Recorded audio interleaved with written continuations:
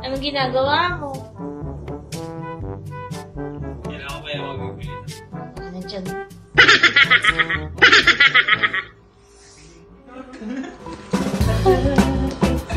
Naka-shoes ka pa mo, ha?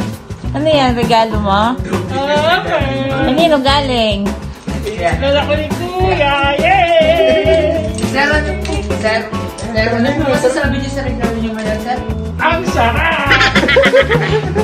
Ngayon Kuya. lang po natin Hi, Mami! Ngayon lang po natin nalaman, masarap po ang sapatos. May lasa na po pala ang sapatos. Eh, susukatin. Ayan na, ayan na, ayan na.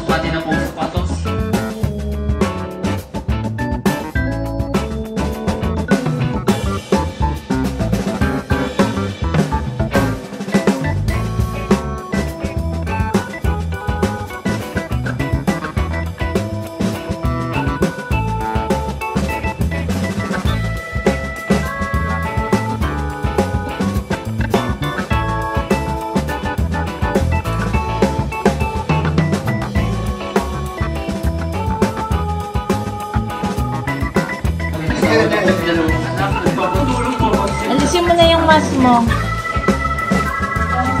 Ano yung mas mo?